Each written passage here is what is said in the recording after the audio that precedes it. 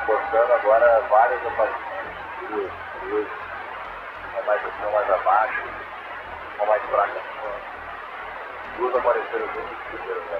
mais uma terceira bem ali. Não é só uma. É um movimento, só um movimento, não é parado, um centro vai lhe passar o número de telefone para reportar os aparecimentos em voo. Quando em solo, entre em contato para reportar. Se não conseguir agora devido ao horário, tente, tente amanhã e via telefone e faça todos os reportes. Poste tudo que viu durante o voo Azul 4248. O Azul 4657 tem condições de informar se avistou alguma luz no setor sul de Porto Alegre? Ah, informar vocês, mas iam falar que eu tô louco. Na verdade, nós estamos vendo essas luzes desde lá de Confins. São três luzes é, girando em espiral entre elas aqui, bem forte. A gente teve um reporte da aeronave que aproximou anteriormente. Obrigada pela informação. Elas aparecem, desaparecem bem fortes, estão girando em espiral entre elas. Assim.